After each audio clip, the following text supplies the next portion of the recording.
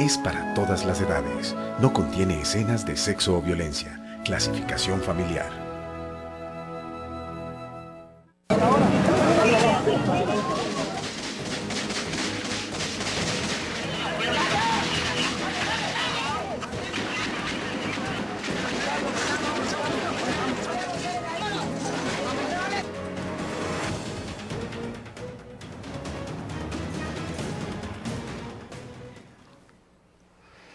Buenas noches, amigas y amigos de Canal Capital. Un día más para hablar del estado de la paz y de los derechos humanos en Colombia. Hoy nos acompaña José Félix Laforí, empresario, presidente de FEDEGAN, la Federación Nacional de Ganaderos. A los 22 años fue elegido diputado por el Cesar, también fue viceministro de Agricultura Posteriormente, en el año 1998, formó parte de la campaña de Noemí Sanín, fue elegido asimismo nombrado vicecontralor entre 1998 y 2002 para finalmente ser nombrado como eh, superintendente de notariado y registro. Sus posiciones eh, sobre la ley de justicia y paz, eh, su cuestionamiento de la misma y también de la forma en que se desarrolla la investigación judicial en los casos de los oh, paramilitares, su posición firme también en lo que se refiere a la acción de las guerrillas, también su posición claramente establecida en relación al proceso de paz iniciado que, sin cuestionarlo, sí eh, exige que la paz no sea a costa de los ciudadanos y de la democracia. También mm, ha desempeñado una labor fundamental dentro de la organización a la que pertenece y con apoyo en la Fundación Fundegan de reclamando la presencia del sector empresarial, de los ganaderos, porque casi 6.000 personas han acudido como damnificados, como oh, afectados por los procesos de eh, violencia que vive Colombia. De todo eso vamos a hablar esta noche con el mismo y de mucho más. Buenas noches. Eh, otro de los elementos interesantes de nuestro invitado José Félix Laforí es que José Félix ha sido una persona que en su trabajo ah, público ha sido ah, el de la reflexión política, ha sido columnista en periódicos, y ha escrito distintos libros. Uno de ellos fue un libro muy, muy comentado sobre eh, una discusión sobre el modelo de desarrollo en Colombia basado desde el punto de vista de la, de la tierra y el modelo agrícola del país. Eh, hemos invitado a, José Félix, además de lo que ha planteado Baltasar, de su trabajo en, en Fedegan, su posición fuerte con el tema de las víctimas, y el papel de, los, ah, de, los, de las ah, organizaciones gremiales en el conflicto. Además, por posiciones que ha asumido muy duras, tanto al interior del, del, gremio ganadero como en su defensa, y han sido posiciones polémicas, ha habido cosas muy fuertes, cuestionamientos muy duros, que la FORI como presidente ha asumido eh, de manera abierta y de manera frentera. Y muchas gracias por venir acá. Y una cosa que decir, estamos haciendo la grabación en la Casa Grau, eh, que es una casa de la Fundación Grau y, es muy linda. Y ese es, el lugar en el que estamos grabando. Baltasar. Bien. Hay un estudio de la Fundación Ideas para la Paz que nos dice que los líderes empresariales más importantes del país y altos ejecutivos de multinacionales apoyarían el proceso de paz con las FARC, pero condiciona la negociación, dicen, a la superioridad militar y política del Estado, estando de acuerdo con pagar un impuesto extra para apoyar el proceso y en dar vocería política y acceso a cargos de elección popular a los desmovilizados. ¿Cómo ve usted esa posición? ¿Forma parte de ese criterio o en general cómo ve el sector empresarial la situación actual en relación a la posible paz o al proceso iniciado de aproximación para la misma entre el Gobierno y las FARC. Pues mire, yo vi la encuesta, la vi la encuesta que publicó El Tiempo. Estuve tratando de hacer una reflexión un poco más allá de lo que la misma encuesta mostraba y encuentro varios elementos que me parece que no calzan con el entusiasmo que inicialmente el país ha mostrado a propósito de los diálogos para terminar el conflicto. Porque claro, yo creo que no hay ninguna persona, salvo algún demente, que le guste estar en una sociedad donde el elemento persistente sea la guerra. Yo creo que a todos nos gusta tener unos, pues, unos escenarios de tranquilidad, porque eso es lo que construye, eso es lo que permite que, la sociedad avance. Y en, y en, ese sentido, pues yo sí siento que todos los empresarios quieren la paz. No creo que haya ningún colombiano que no lo quiera. El problema es cómo lograrla. Y el problema es a qué costo. Que es un poco lo que traduce la encuesta. Cuando a los empresarios se les pregunta, si están dispuestos a sufragar un costo impositivo o incluso ver en los altos cargos del Estado a personas que ayer fueron los victimarios principales, los secuestradores, los que extorsionaron y los que cometieron una cantidad de crímenes de lesa humanidad, pues buena parte de ellos, el 68% si mal no estoy, dicen que no. Entonces yo creo que aquí se ha jugado con una serie de percepciones que muchas veces no reflejan el verdadero ánimo colectivo de la nación y me parece que eso puede terminar teniendo un elemento en el, mediano plazo de inmensa frustración en el hipotético caso que las cosas no, vayan en la dirección que el gobierno cree que puede ir. Pero sin embargo, si no recuerdo mal también, las primeras encuestas un 82% de la población se mostraba ah, de acuerdo con la iniciativa del presidente Santos y también ha sido casi unánime del apoyo internacional de los diferentes líderes políticos, de los eh, diferentes países, organizaciones.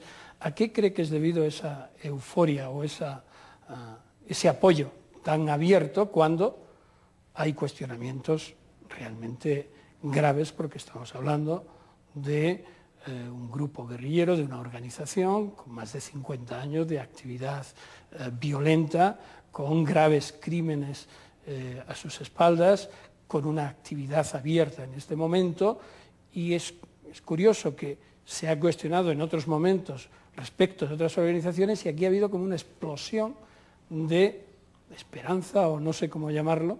¿Por qué cree que, eso sucede? Pues mire, yo lo entiendo más hacia el interior, pero lo entiendo menos desde el punto de vista internacional. ¿Por qué? Porque claro, una sociedad como la nuestra, que ha sido tan duramente castigada por todos los actores criminales, guerrillas, paramilitares, narcotráfico, etcétera, etcétera. Pensar que algún día esta sociedad pueda vivir en un entorno de tranquilidad, de tranquilidad pública en términos generales, yo creo que es un anhelo colectivo que yo creo que todos los colombianos llevamos adentro. Entiendo menos lo de la comunidad internacional y cada vez me sorprende más eh, líderes y personas que tienen una representación. Ayer lo veía a propósito de la embajadora de la de la Comunidad Económica Europea, que prácticamente todos están sosteniendo una tesis que a mí me parece por lo menos poco, un poco, o poco decente, para no usar calificativos gruesos. El mundo, el mundo civilizado, ha intentado en los últimos 100 o 200 años consolidar un Estado de Derecho. Un Estado que permita que aquellos que vulneren las reglas mínimas de convivencia y dentro de ellas no cabe la menor duda que las leyes penales son las que más peso tienen, promulga porque haya justicia. Razón por la cual, y usted que sí sabe del tema, porque lo ha trabajado y lo ha trabajado a lo largo de toda su vida, usted encuentra que desde tribunales internacionales eh, que están soportados por, por acuerdos, por acuerdos, por convenios, que son leyes supranacionales, todos apuntan a que no puede existir impunidad frente al delito. Y yo soy de esos colombianos. Yo soy de aquellos que no puede existir impunidad frente al delito. Incluso cuando uno sopesa los temas de justicia transicional, tiene que sopesarlo con mucho cuidado.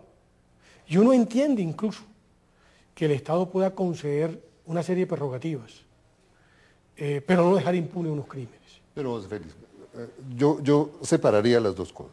Una cosa es el, planteamiento desde el punto de vista de la posición de los empresarios y otra de la comunidad internacional para no... Un poquito para cerrar el tema de los empresarios que abrió Baltasar.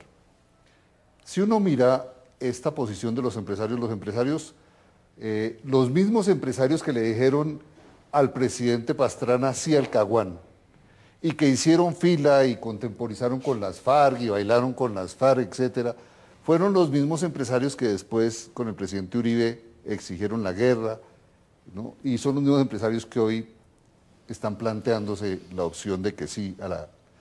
En todo este proceso lo que uno ve, para mirarlo críticamente, una de las cosas que hemos visto los colombianos es, en esto hay una especie de discurso empresarial de sí a la paz, pero cuando ese discurso afecta los intereses económicos del grupo, entonces hasta ahí va. La pregunta va en ese sentido, si, claro, la gente está dispuesta o no. no está dispuesta, mire, y le voy a explicar por qué. Porque cuando uno ve que los acuerdos que eventualmente puedan llegar, gobierno y FARC, están en torno a un tema como la tierra. Y aquí se habla es justamente del sector rural, pero no del sector urbano, que es el que concentra, que es el que durante tanto tiempo, en vez de estar en una economía abierta, en una economía de mercado, lo que ha tenido una economía rentista, lo que ha intentado generalmente es apoderarse por ser de porcelas de poder, pues obviamente si no le tocan, pues no pasa nada.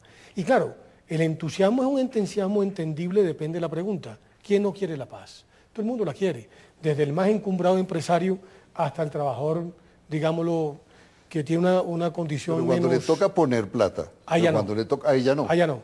Eso, por eso digo yo, es que aquí, aquí todo depende cómo te vaya en la feria.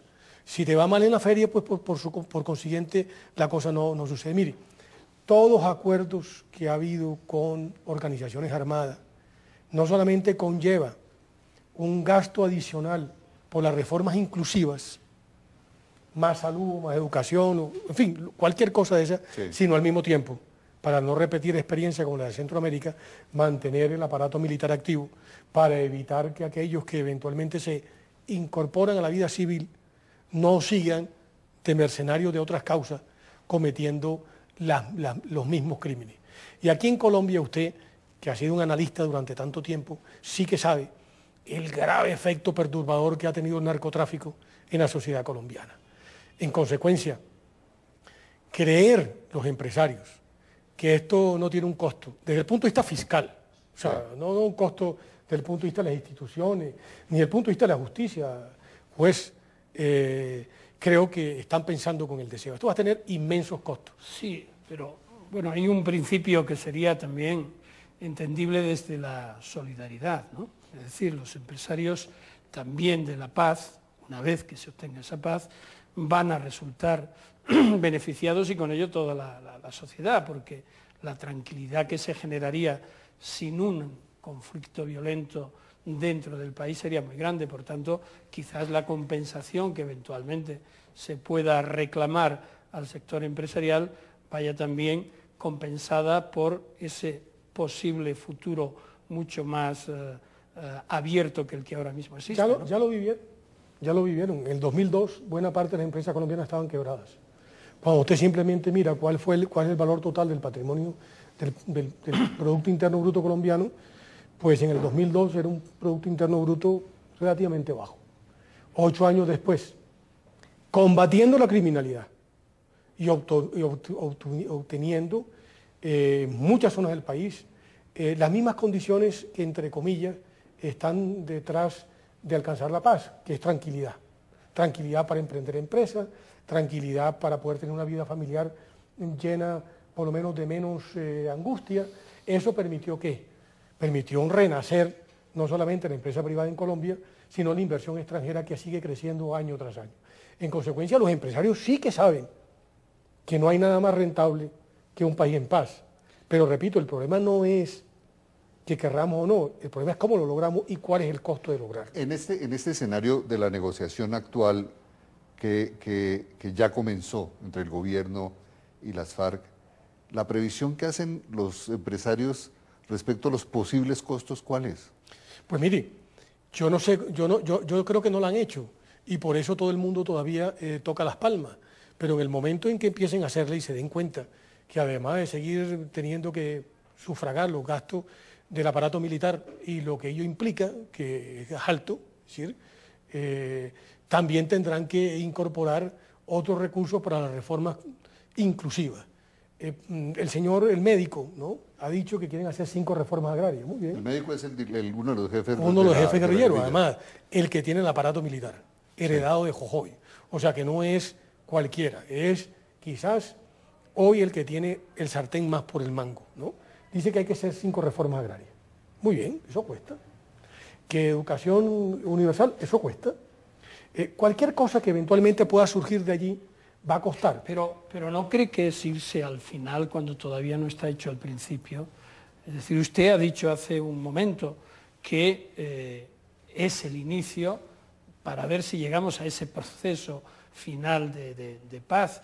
Por tanto, quizás está bien que se plantee uno el día después, es necesario además hacerlo y muy conveniente para que no nos, eh, nos agarre con las manos vacías. Pero en esta primera fase eh, yo creo que eh, quizás ese entusiasmo que hay viene motivado porque por fin, sin cesar la acción del Estado frente al crimen y frente a los actores armados, se está abriendo un espacio para ver que esa posibilidad sea una certeza. Y ahí habría que apoyar o no. Pues mire, yo creo que el gobierno ha planteado en gracia de discusión el asunto de manera válida. Ha dicho varias cosas en las que cualquier persona medianamente sensata tendría que estar de acuerdo. Ha dicho, sigo eh, combatiendo los grupos eh, terroristas. Eh, no voy a ser rehén del proceso, que me parece que es de las declaraciones más importantes que ha hecho. porque lo que uno siente es que terminan siendo rehenes. No son capaces de levantarse de la mesa. Correcto. Y tercero, seguiré gobernando. Pues muy, bien.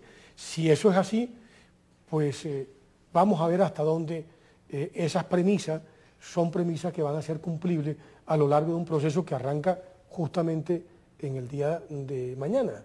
Eh, esperemos pues que, que, pueda cumplir. Ya no cumplió, por ejemplo, la primera promesa. Solamente me sentiré, solamente saco la llave de la paz cuando dejen de secuestrar o cuando devuelvan los secuestrados, etcétera, etcétera. Pues muy bien vamos a creerle que el gobierno se la planteó en esos términos. Eh, pero eso, a la final, dentro de seis o siete meses, que es lo que el gobierno considera, y lo que yo creo que finalmente políticamente va a ser el gobierno si no quiere ser rehén, porque yo no veo al gobierno sentado en el mes de julio eh, del próximo año, cuando sabe el gobierno perfectamente bien que le vienen dos procesos electorales. Uno, de elecciones parlamentarias y dos, de sucesión presidencial en el 2014 y por supuesto que esos elementos son elementos críticos. ¿Y no cree, que, y no cree que, que la paz o el final de la violencia no merecería una apuesta extra electoral? ¿No seríamos capaces, el, pueblo colombiano y los actores internacionales y los políticos y, las políticas eh, colombianas de conseguir hacer un proceso electoral al margen de esa negociación si se está produciendo? No me Preguntémosle al gobierno. Pues claro, como yo no voy a participar del proceso electoral, preguntémosle al gobierno. Yo, como analista, lo que veo es que para el gobierno tendrá simplemente un deadline.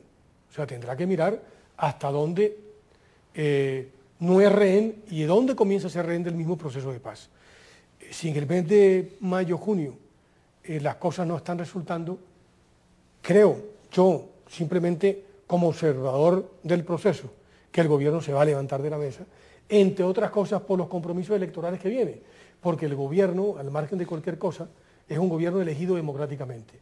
Y la democracia es con elecciones, y las elecciones con voto. Pero José Félix, e-, ese sería un factor de distorsión muy grande. Uno dice, se observa eh, los términos de lo que es, han sido los acuerdos, dice, hemos ganado un terreno muy grande. Primero, no está sobre la mesa la discusión de las nacionalizaciones como era en el pasado no está sobre la mesa la distribución del poder, no está sobre la mesa esas discusiones que nos llevaron desde el punto de vista ideológico. Hay unas, se llegó a unos puntos muy concretos, el tema de la tierra, el tema del desarrollo agropecuario, eh, en fin, el tema de la verdad. Lo- por lo pronto, Pedro. Por lo pronto. Por lo pronto, pero por ejemplo, hay dos temas que no están sobre la mesa. Y ya el juez lo planteó en la introducción que hizo. No está el tema de la justicia. Está el tema no, de la y- justicia, claro no, que no, está. No, no, No. eh, no, no está. Ni está el tema de las víctimas. Y no Digamos, en esta primera fase En esta primera fase no está. sí hay una Eh, mención a las Sí, víctimas. hay una, claro, Sí, pero no hay, Pero muy tangencial. hay mención a la, Muy tan- repa- a la verdad y a la reparación, Eso. no hay mención a, A la la justicia. Y a la justicia. Pero vendrá el siguiente. Claro, eh, yo- eh, estadio. mi, mi- Pero- mi pero espérate, pregunta, te- mi pregunta te- es termino esa. de cerrar, termino de cerrar la cosa. Entonces, habría unos elementos que permiten arrancar y es absolutamente claro que ha habido un proceso de negociación que ha permitido que esta apertura de Oslo eh, ya recoja un- recorre un camino grande.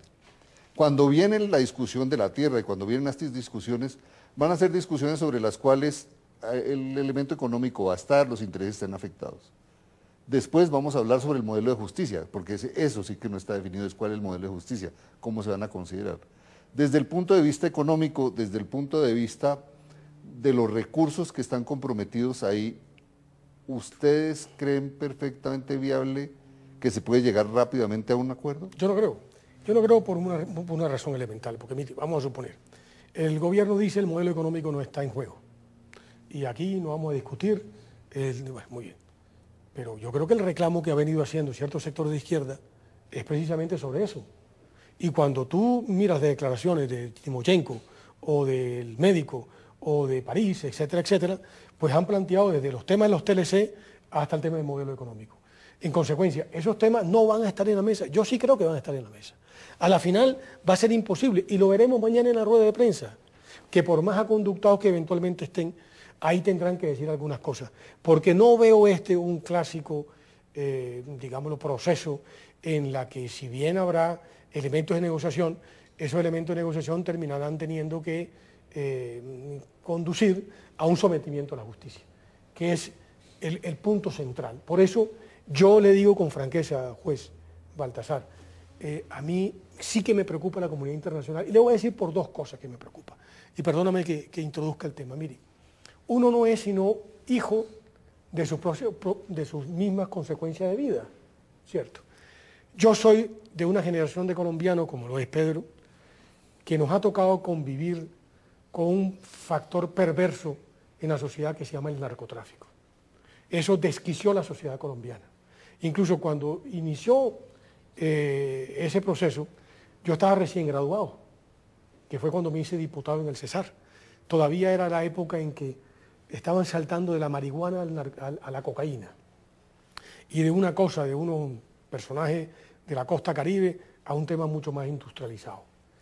Mi generación es una generación perdida, porque ese narcotráfico sirvió para todo, sirvió para pervertir la sociedad por un lado, pero también para alimentar la guerra.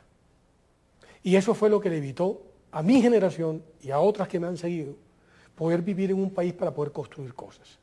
Que a mí me vengan a decir ahora, a los 56 años, que el narcotráfico es un delito conexo con el delito político, o que los delitos de lesa humanidad son conexos con el delito político, pues mire, yo, yo, yo la verdad es que me sentiría como ciudadano, eh, digámoslo, eh, agredido por, por, por, por, el Estado colombiano. Porque me han dicho a mí durante 30 o 40 años que tengo que comportarme de una manera y a la final, ¿no? Cuando uno es un criminal a lo bárbaro, es decir, cuando trafica y es el tercer cartel más, más, más fuerte, como lo fueron los paramilitares, ¿ah? que yo soy tan duro con ellos como los otros, por eso también me acusan los paramilitares, ¿no?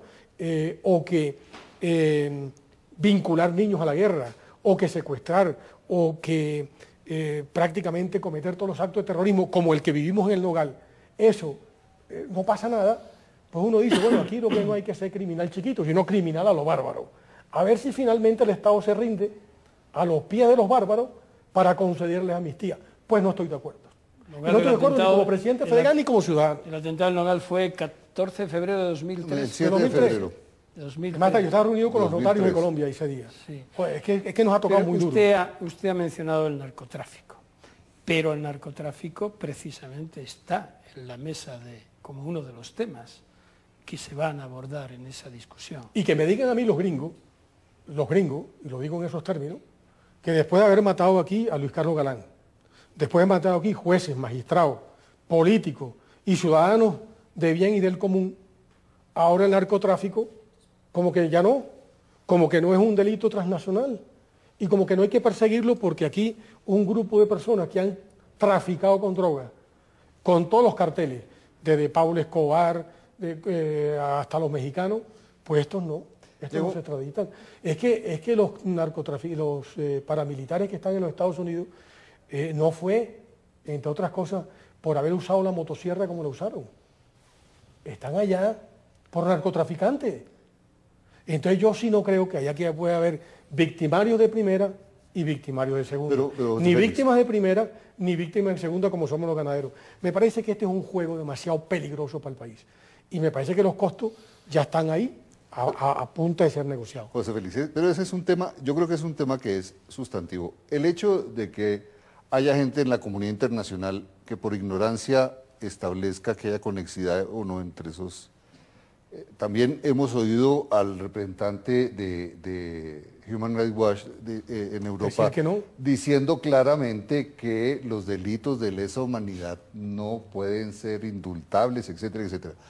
Y ese es un tema que la guerrilla creo que tiene claridad sobre ese tema. ahí está, estamos en la discusión. Yo, no creo. Ahí, entramos yo creo que están todos eh, están muy en el cuento que aquí vienen a ser senadores. Ellos deben, deben tener claro el tema si no lo van a tener claro, porque hay puntos en los cuales la justicia penal internacional, y los quiero invitar a que un poquito hagamos esa reflexión en el, próximo segmento, de eso del, papel de la, justicia penal internacional, y un poco que, que, Baltasar nos, nos oriente en esa, en esa dirección. Vamos a entrar en una corte de comerciales y regresamos en un momento en, hablando de la paz y los derechos humanos en Canal Capital. Ya regresamos.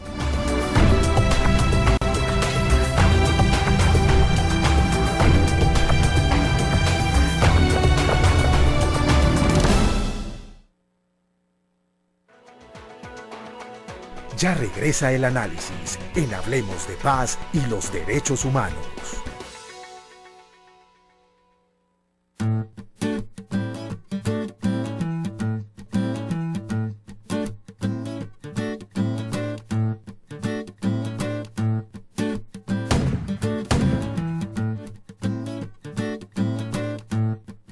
Armar o amar.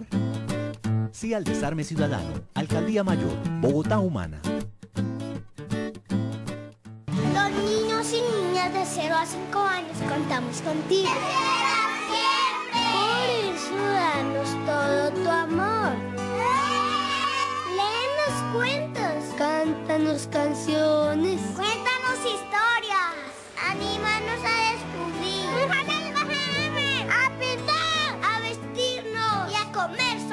Solos.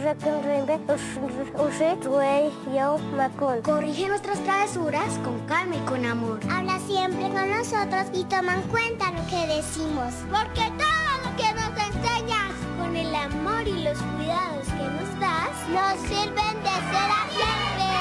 Los niños y las niñas de 0 a 5 años cuentan con nosotros. El desarrollo integral en esta edad es muy importante para sus vidas, ya que se forman sus fortalezas físicas, sus habilidades para pensar, hablar, aprender y se construyen sus valores. De 0 a siempre. Atención integral a la primera infancia. Vivimos nuestra sexualidad con amor y respeto. Nosotros decidimos con responsabilidad. Nosotros decidimos informarnos. Vivimos con compromiso nuestro proyecto de vida. Nosotros decidimos con valentía. Vivimos nuestra sexualidad a conciencia. Con responsabilidad y respeto. ¿Y tú? Infórmate. Entra a www.procuraduría.gov.co. El 2012 es muy especial porque el 25 de octubre se aplicarán a los estudiantes de todo el país las pruebas saber tercero, quinto y noveno. Además, a partir de ahora serán anuales. Así se tendrá una valoración más completa de la educación básica colombiana que permitirá identificar los avances y orientar las decisiones para mejorar nuestro sistema educativo. Recuerde, aplicar 25 de octubre. No se quede sin saber. Mejor evaluación, mejor educación. ICFES, mejor saber. Prosperidad para todos es ambiente para todos. Los largos ríos y como ustedes saben, mucha agua. Perdón, profe, pero no importa cuánta agua tengamos. Si la seguimos contaminando ya no nos sirve de nada. Si seguimos como vamos, en pocos años será escasa. Solo debemos usar la necesaria. Por eso hay que mantenerla limpia. Ellos son protagonistas de una nueva cultura frente al agua. El agua es de todos, protegerla también es responsabilidad de todos.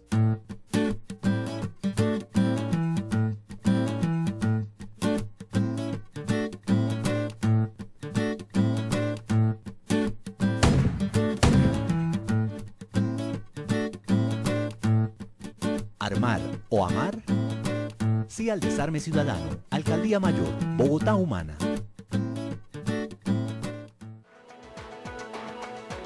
El análisis continúa en Hablemos de paz y los derechos humanos.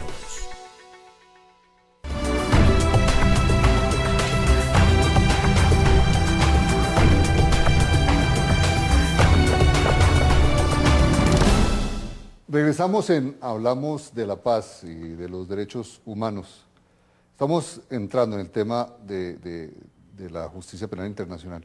¿Usted qué iba a decir, Baltasar, en ese, asunto? No, yo estaba, quería seguir para dar entrada al tema de la justicia y de la aparente, no aparente, real ausencia, al menos de la justicia retributiva, de la justicia penal tradicional, en los puntos de acuerdo inicial para el debate, eh, con el tema del narcotráfico. El narcotráfico, de alguna forma, eh, aunque eh, las propias FARC siguen manteniendo que, son una especie de, cobradores de, impuestos o de cánones y demás, realmente puede estar y está en el núcleo del propio conflicto.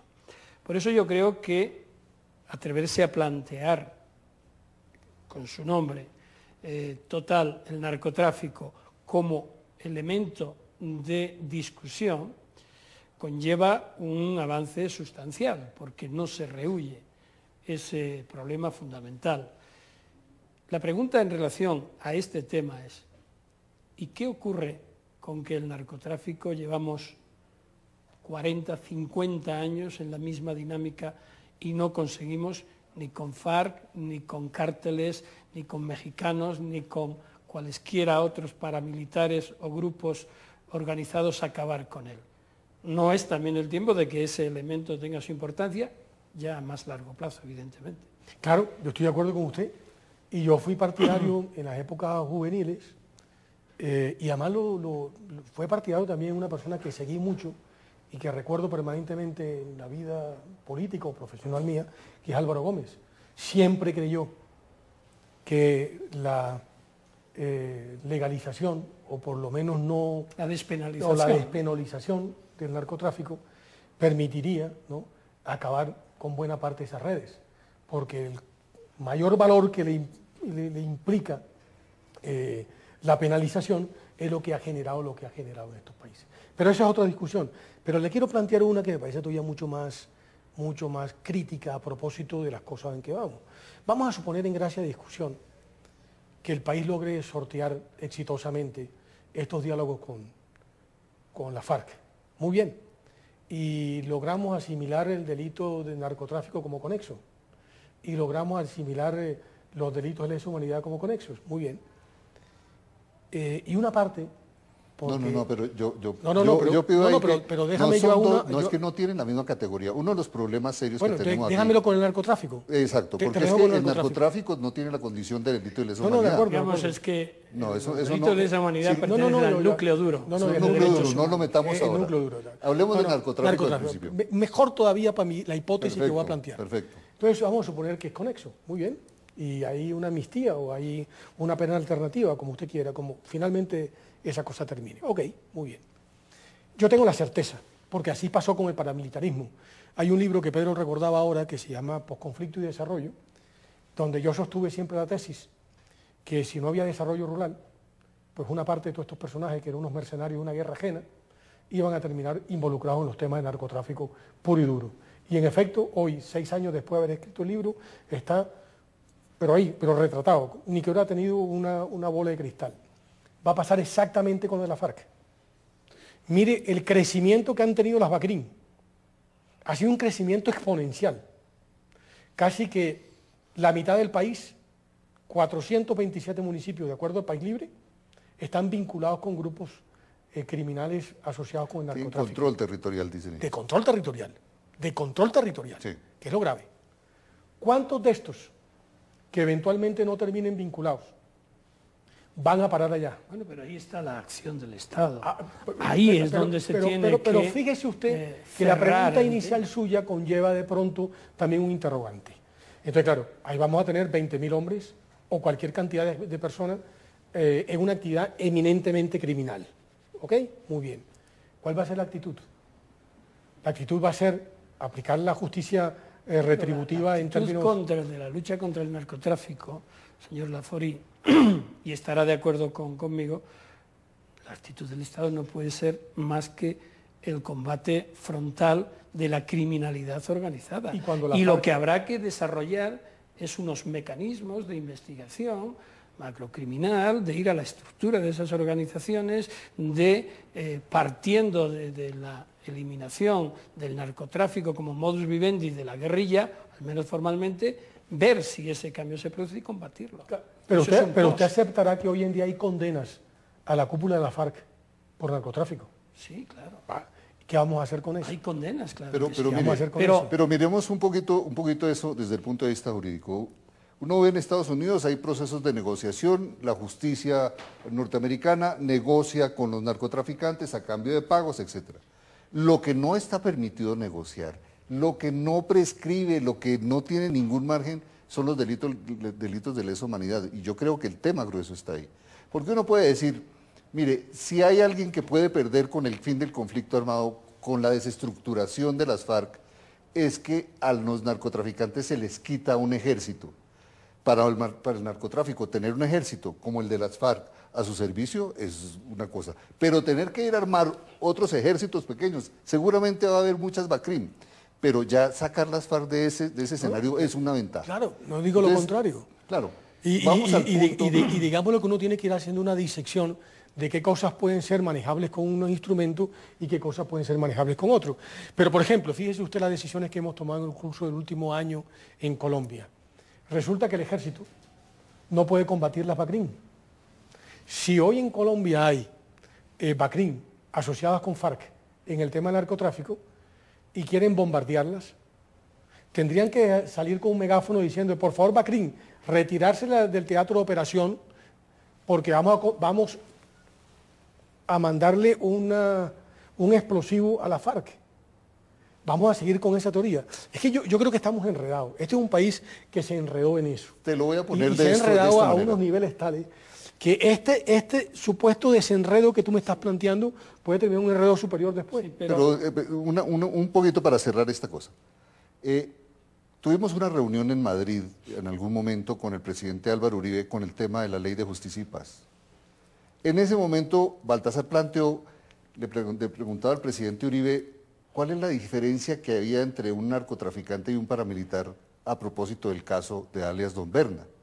Porque lo que pasó en ley de justicia y paz es que permitimos, todos los colombianos despu- después estuvimos de acuerdo en que muchos narcotraficantes se matricularan como, como, como paramilitares y que en ese proceso hicieran la negociación. En ese momento el narcotráfico aparece como subsidiario. Lo siento, aparece. Y en ese escenario uno puede decir, claro, pero no puede hablar lo mismo del narcotráfico con respecto al tema de lesa humanidad, que es mi punto.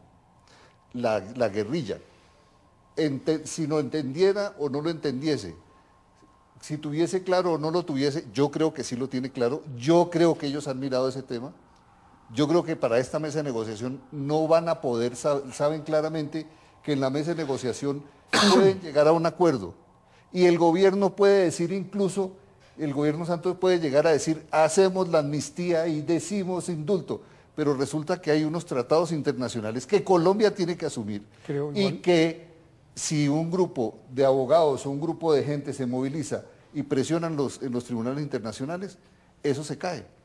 Y Creo yo igual- creo que la guerrilla tiene que ser consciente de eso y el gobierno tiene que ser consciente. Y yo creo que nosotros mismos debemos cerrarle la puerta a ese espacio. ¿Y, por qué no me dejas, tú sabes que yo soy ingeniero, no soy abogado?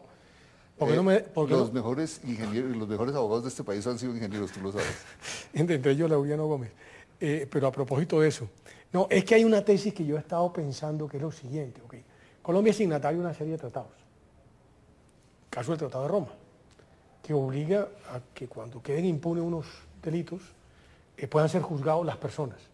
Pero también es signatario de otros dentro de la esfera americana, que es la Comisión y la Corte Interamericana de Derechos Humanos. Muy bien. Que juzga a Estado y no a personas. Mi pregunta es la siguiente.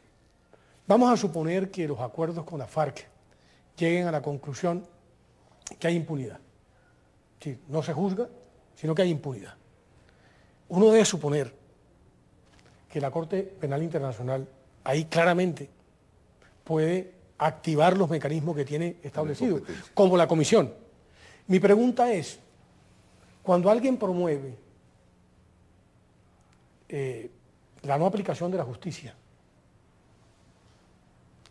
¿Está en curso está en curso en algún ¿Quién está proponiendo la no aplicación de la justicia? Pues quienes están al frente del Estado colombiano. No, eso yo creo que no es así. no, no, no, no. A ver, yo, yo, yo, estoy, yo estoy siempre haciendo una especulación, una especulación jurídica. La, Forilla, a mí me gustaría, porque creo que hay un poco de confusión. El área de la justicia penal internacional tiene su ámbito de aplicación y siempre es de carácter complementario. La primera acción es en este país y por tanto aquí en este país ahora mismo hay muchos procedimientos abiertos contra ah, miembros de las FARC y contra por delitos de asesinatos, de desaparición, de desplazamientos, de secuestro, de narcotráfico. Por tanto, no estamos hablando de una esfera internacional. Para nada en este momento tiene que ver nada la justicia penal internacional. Situémonos en el escenario posterior. Ahí es donde habrá de definirse qué es lo que sucede y cuáles son los límites. Pero tenemos la ley de justicia y paz. y la ley de justicia y paz también conlleva el enjuiciamiento, investigación y persecución de crímenes de lesa humanidad y la Corte Penal Internacional, la Fiscalía en este caso, está atenta a ese proceso, a ver lo que hacen. Por tanto, estamos en esa situación. La cuestión yo querría que, me contestara. Usted acaba de decir, dice, no, la, no justicia o la inactividad de la justicia se promueve por parte del que está o de quien está al frente del jefe como jefe del Estado. De momento no se está discutiendo sobre justicia. Hacer la elucubración de qué va a ocurrir creo que es un riesgo, no sé si asumible, pero bueno, para mí es un riesgo porque no sabemos lo que va a ocurrir. Insisto en dos cuestiones. Una, ¿Usted cree que sin negociación o sin acuerdos políticos es posible acabar con las FARC? Y segunda, dado por hecho que tiene que haber justicia en los límites que se defina el núcleo duro de derechos humanos que es intocable, ¿cree usted que este es el camino adecuado? Bueno, empecemos con la primera. Eh, yo no creo en la tierra arrasada. Yo creo que un Estado tiene que tener un punto donde cuando termina por vencer aquel que ha ofendido a la sociedad, pueda encontrar mecanismos de justicia transicional para incorporarlos a la vida civil, eh, en algunos casos pagando una condena eh, menor que la que eh, se pagaría un tercero que no está sometido a este tipo de proceso. Por consiguiente, yo sí soy de los que cree que es posible que a través de un proceso de negociación uno pueda avanzar en este frente. ¿Qué es lo que a mí me preocupa, digamos, de este proceso? Que este es un proceso en el cual el Estado se puso en el mismo nivel de aquel que ha intentado eh, agredir a la sociedad. Es decir, aquí Dos partes. ¿Cuáles son las dos partes? El Estado colombiano y la FARC. Vamos, por, parte. el Estado colombiano es un Estado totalmente legítimo. El gobierno del presidente Santos fue elegido con nueve millones de votos. Es decir, yo no creo que haya nadie en Colombia ni en el mundo que pueda desconocer la legitimidad del presidente, del Estado colombiano y de sus instituciones. Por consiguiente, usted no puede poner en el mismo eh, nivel ambas cosas. Pero yo creo que no están en el mismo nivel. Pero claro, hombre, tú estás discutiendo de tú a tú con unos terceros eh, están que yo no podría ni siquiera llamar... discutiendo con los únicos que pueden discutir. Pero no, son los pero, pero, no es un sometimiento a la justicia, que fue lo que hubo con el paramilitarismo. Con el paramilitarismo... No, evidentemente es totalmente Totalmente diferente. Aquí no, aquí hay unos diálogos. Unos diálogos que incorporan unos temas. Unos temas donde... Que aquello trajo sus complicaciones, como lo estamos viendo también. No quepa duda. Y además no se hicieron las cosas todas bien como debieron haberse hechas. Hay muchas cosas que quedaron mal hechas y estamos viviendo las consecuencias de haberlas hecho mal. Pero ¿cuál es la dificultad que usted le ve a, este proceso en el que el presidente de la Nación y el Estado ha dicho se va a seguir combatiendo, le repito, al, si, los al terrorismo o a las fuerzas al gobierno, le concedo al gobierno todo el margen, y así lo he dicho. Y seré el primer colombiano que si esto sale bien, aplaudiré con total convicción y sin ningún tipo de restricciones la apuesta arriesgada que hizo el presidente y que sacó adelante. Seré el primero, es decir, no esperaré a, que, no, porque me parece que la apuesta es una apuesta eh, en extremo arriesgada. Y cuando llegue el momento que le pida ayuda a los empresarios, como usted decía al principio, ¿qué va a ocurrir? Si, si esa ayuda es una ayuda que es absolutamente, eh, digámoslo, atendible, por supuesto que sí, ni más faltaba que uno como colombiano se vaya a oponer a que el país pueda tener una nueva etapa de tranquilidad o una, una mejor etapa de tranquilidad, ni más faltaba. Lo que yo no veo es que las cosas puedan salir.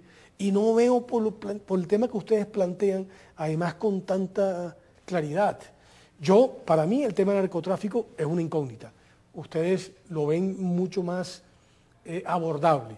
En cambio, son muy, muy, muy claros, muy radicales, si se podría usar el término, en lo que es el núcleo duro de aquellos eh, hechos que han afectado el derecho internacional humanitario o los crímenes de lesa humanidad. Es que lo dice la Constitución. Lo dice la Constitución y los tratados, suscritos. Pero ese no es el entendido. Y si usted le pregunta al ciudadano del común, o si usted le pregunta incluso a esos empresarios que mm, contestaron encuesta de ideas para la paz, no lo tienen claro. Y si usted le pregunta a aquellos que desde la sociedad civil dicen representarla, que ayer tuvieron un eh, diálogo en Oslo, eh, tenga usted por seguro que no está en ello. En consecuencia, aquí me parece que hay unos falsos entendidos. Y a lo largo de estos meses, esos falsos entendidos, pues yo creo que tendrán que ponerse sobre la mesa, como, como, el, como, como el, tema de, de estos delitos que son nucleares de derechos humanos como el tema mismo de la justicia o como el tema mismo de las víctimas, que no están suficientemente explícitos. El tema de la tierra, si, me apura, no obstante que está en el núcleo central de mi actividad, es menos importante. ¿Por qué? ¿Por qué? ¿Por qué es menos importante? Pedro, te voy a explicar por qué. Porque yo creo que ellos no saben de eso. Ellos se quedaron con la idea de las ligas agrarias de los 30 o de los 40 o cuando finalmente eh, constituyeron en el 64 eh, la FARC. Ellos quedaron una visión de un país que ya no existe. La riqueza no está en el sector rural. Tú que me conoces a mí, durante muchos años, hasta cuando me nombraron de Fedegan, yo alguna vez te hablé de eso. Nunca. Nunca, nunca creí en eso como un instrumento real. Porque... Bueno, tuvimos unas discusiones muy fuertes sobre el paramilitarismo pero posteriores. Posteriores. Exacto, en esa época ni siquiera, porque era un tema que era ajeno. Yo no creo que la riqueza en Colombia esté en eso. Es más, Europa, Europa Oriental. El gran problema de Europa Oriental es que hacer para colectivizar o a, generar dinámica de asociatividad eh, del, microfundio en que terminaron. Aquí en Colombia es exactamente igual, incluso en el sector ganadero. Pero, pero, sin perjuicio. José Félix, uno ve que se están constituyendo y lo denuncian ejércitos anti-restitución de tierras, etcétera. Y uno ve que eh, en los puntos centrales de la negociación, eso de la tierra en las FARC es, es un punto central. Y otro punto que no le estamos dando la suficiente no, pero, importancia... pero, pero, es que ese tema que acaba de tratar así tan, tan, tan rápidamente es demasiado importante. Mire, yo he sostenido una tesis que algún día me creerán. Es que aquí hay dos personas que tienen tierra. Uno que aspiran a producir con ella algo, algún nivel de bienestar, y otras que la tienen o como acumulación patrimonial o como un activo estratégico para los negocios criminales. Esos fueron los que usurparon. Y los otros, los del otro lado, estamos esperando que le quiten la tierra a los usurpadores, porque ellos, paramilitares, guerrilla y narcotraficantes, la necesitan no como un factor de producción, sino como un factor de control territorial para poder atender sus negocios. En consecuencia, yo soy el primero que Entonces, si desaparece ese control territorial magnífico en favor del Estado. Estupendo. Pero ya dijo el médico y ya dijeron varios de ellos que ellos no habían usurpado tierras. Y yo le puedo dar la lista de la finca. Que, claro, pero ese es un que normalmente el que comete el hecho suele negarlo. Suele, negarlo, sí. Estamos de acuerdo. pero ese tema llegará a la mesa. Por eso no puedo ser tan optimista, porque es que ellos están convencidos que su lucha ha sido una lucha legítima y que todos los instrumentos que han empleado, incluido la usurpación de tierra y pasando por el narcotráfico, está permitido porque eran delitos de pronto eh, consentidos o altruistas para un fin superior. Y yo no creo. Instrumentales. Instrumentales para un fin superior. y no creo. Miramos, miramos si, si intentásemos pensar en una contribución fuerte que quisiese hacer la Federación de Ganaderos al proceso de paz. Y dijera, mire, nosotros creemos que en este tema de tierras podemos aportar y en este tema del desarrollo agropecuario podemos aportar para que efectivamente ese proceso llegue a buen término ¿Cuál sería el aporte? Mucho, mucho, Pedro. Tú, tú, conoces que yo toda mi vida he estado vinculado a ese tema, eh, académica o, en fin, o escribiendo cosas que vivo escribiendo. Eh, el día que a mí el gobierno me llama a decirme usted tiene algunas ideas claras sobre este tema, digo, claro que las tengo.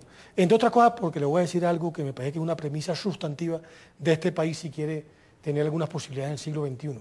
Colombia es un país tropical, que tiene unas inmensas ventajas comparativas no competitivas, por ser trópico, sol y agua.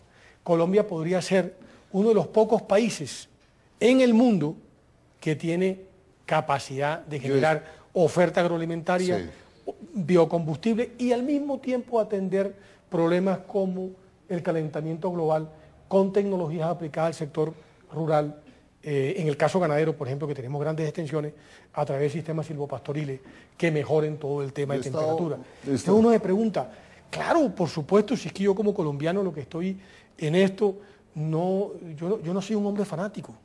No, no, pero yo he estado, yo he estado es que he estado en, varias reuniones de ganaderos, encuentros de ganaderos, y si hay un sector, Baltasar, un sector duro, radical, clarísimamente definido en estos términos, Ah, es el, sector de los ganaderos. Eh, es un sector además muy, muy en el gobierno del presidente Uribe. Si alguien expresaba esa vocación de los ganaderos era el presidente Uribe y es el ídolo de, ese gremio. Desde el punto de vista, viendo estos ganaderos que yo vi intervenir, de los que les escuché, ellos estarían dispuestos, como usted Pepe, a trabajar en los temas claves de la tierra, en meterse a las reformas, eh, eh, eh, reformas agrarias si hay que hacerlas o en, impulsar esta cosa, ¿estarían dispuestos? Pero depende de lo que significa impulsar. Mire, yo, yo, usted, tú me conoces a mí, Pedro. Mira, yo soy una persona que actúo por convicciones y que no me dejo intimidar. Y cuando me toca sentar posición y hacer fracturas, las hago, como las he hecho. Sí. Como las he hecho. He visto, he. En un gremio complejo como el mío. Sí. Y no le tengo miedo al miedo. Y por eso muchas veces me atacan de todos los frentes. Y por lo general, mi padre me enseñó una cosa. Cuando tú te afeites y te mires a la cara y no tengas vergüenza de lo que haces, echa para adelante. Y eso es lo que yo hago. Por eso no son pocos los enemigos que he tenido en la vida y no son pocos los que tendré de aquí en adelante. Ahí estuve las declaraciones de Mancuso y de otro, otro personaje, tratando de meterme a mí en unos rollos que en nada tengo que ver y sin embargo ahí estoy fuerte. ¿Por qué? Porque he dicho cosas que muchas veces no van en la dirección de los intereses que ellos intentan proteger. También lo haré. Es decir, el día que a mí me toque decirle al sector ganadero que hay que hacer cosas en función de país que realmente le sirvan al país, no a la conveniencia de unos sectores, lo diré con las mismas convicciones con que escribo toda la semana un artículo. Señora Lafori, usted ha reclamado la presencia de del sector empresarial en lo que es este periodo de acercamiento, de proceso de aproximación para un proceso de paz. ¿Por qué cree que es importante la presencia de esa perspectiva, de ese gremio, de ese punto de vista en una mesa de diálogo, de negociación? Porque me parece que lo que está en juego va mucho más allá de lo que en principio se ha intentado plantear. Aquí está en juego muchas cosas. Y si aquí alguien tiene que poner mucho, entre otras cosas el sector ganadero. El sector ganadero ocupa 38 millones de hectáreas. Es la frontera agropecuaria más extensa que hay. Somos el sector de la economía rural más grande. Somos tres veces el café, por ejemplo, para usted que es un extranjero. tres veces la economía ganadera es la economía del café. Por consiguiente, tenemos mucho que poner en el asador. Y si aquí hay que contribuir con una visión de largo plazo, nuestras opiniones no pueden quedar al margen, porque sería nuevamente un acuerdo no incluyente. Y los acuerdos que son incluyentes son los acuerdos que finalmente pueden perdurar. En consecuencia, desestimar. Eh, a veces me dicen que yo hago oposición, no, yo no hago oposición. Los gremios no son para hacer oposición. Los gremios son para defender unos intereses minoritarios pero legítimos de la sociedad con los canales que las sociedades democráticas tienen. Esos son los que yo uso. Mi columna de opinión. usted ha sido crítico con la ley de víctimas y de Yo he sido crítico, no, fíjese que no. ¿Por qué? no he ¿Qué, sido... ¿Qué, planteamiento? No, no, no, todo lo contrario. Yo he sido un promotor de la ley de víctimas. A la prueba es que eh, no solamente mm, creo en ella, sino que fui precursor de ella. ¿En qué medida están contribuyendo a, Por ejemplo, garantizar hecho, la aplicación? He hecho tres eh, en zonas duras, ¿no? Apartado. Convoqué ganaderos para que dieran un paso al frente y para que pudieran de alguna manera participar dentro del marco de la ley 800 personas. Después me fui para San Juan del Cesar, en La Guajira. Yo pensé que me llegaban 300, 400 personas. 1.200, me tocó dos días de seguido porque no cupieron en el salón comunal en Bucaramanga. ¿Y piensa que esos son pasos para construir un espacio posible de paz? Porque es que yo tengo una tesis, eh, juez. Yo creo que aquí no puede haber víctimas de segunda. Aquí todas las víctimas tienen que tener el mismo derecho ante la ley, como cualquier ciudadano. Y aquel que secuestraron o asesinaron o ultrajaron o, o secuestraron, tiene que dar un paso al frente. Paso al frente para que el Estado y la sociedad reconozcan. más, le voy a decir otra cosa estoy terminando de estructurar una demanda al Estado colombiano ante la Comisión eh, Interamericana de Derechos Humanos para que conozca el altísimo nivel de impunidad del sector ganadero. El 99% de los casos que le hemos planteado a la justicia colombiana están en la total impunidad. Y cuando hice el libro de Acabar con el Olvido, que se lo voy a regalar ahora, eh, y se lo, traigo aquí y se lo, lo traía a propósito. Tenemos que ir comenzando a cerrarlo al ya quedan dos minutos. Aquí lo tiene. Pero este, que fueron 3.600 víctimas, ya vamos por, por 11.000 y tantas. El Estado colombiano no puede dejar esas víctimas, y usted puede verlo ahí, que además están tipificados no solamente en el marco del delito, del delito penal colombiano, sino las infracciones al derecho internacional humanitario y lo que eh, prescribe eh, la Comisión Interamericana de Derechos Humanos. Eh. Consecuencia, creo en la, ley de víctima, como creo en la ley de restitución de tierra, como el que más, porque sé que... ¿Por qué cree que hay Baltasar, porque no vamos, cerremos que ya nos están diciendo que el tiempo se nos agotó. ¿Por qué cree que?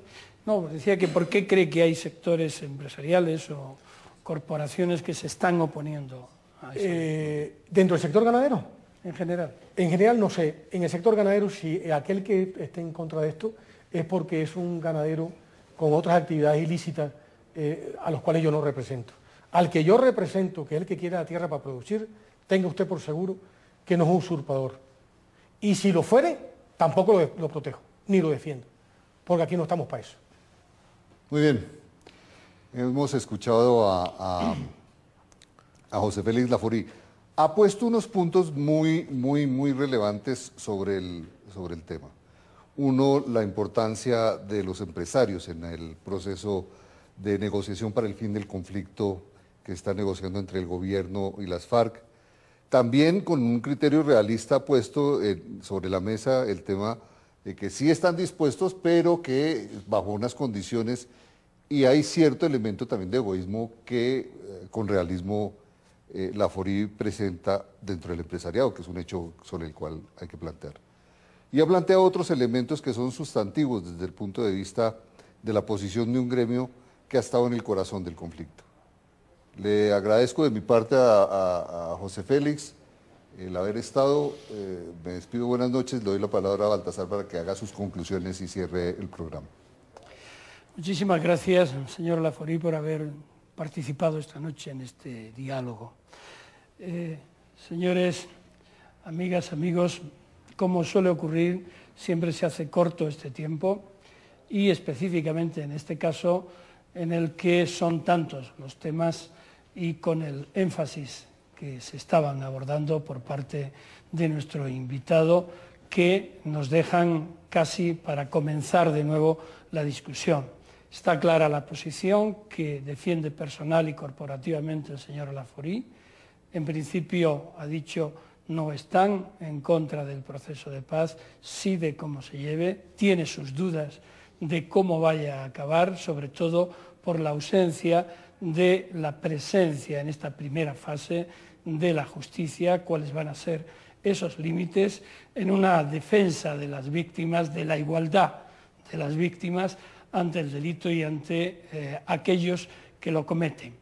Sin lugar a dudas son posiciones firmes, pero también eh, se ha quedado de manifiesto eh, que tan solo con la justicia es difícil conseguir la erradicación de este tipo de organizaciones criminales. No obstante, el debate queda abierto, sin duda tendremos oportunidad en otro momento de continuarlo. Muchas gracias y buenas noches. Y también buenas noches eh, y muchas gracias a la, a la Casa Grau que nos ha facilitado las instalaciones muy maravillosas. buenas noches por ahora.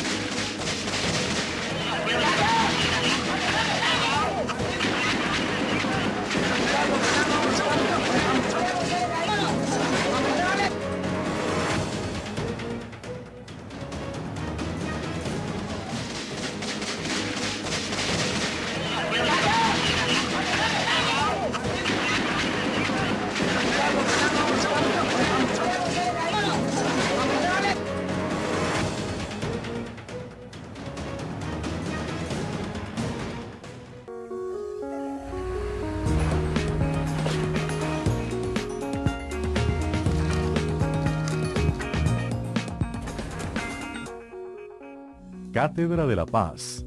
El pueblo de Colombia, por conducto de sus representantes,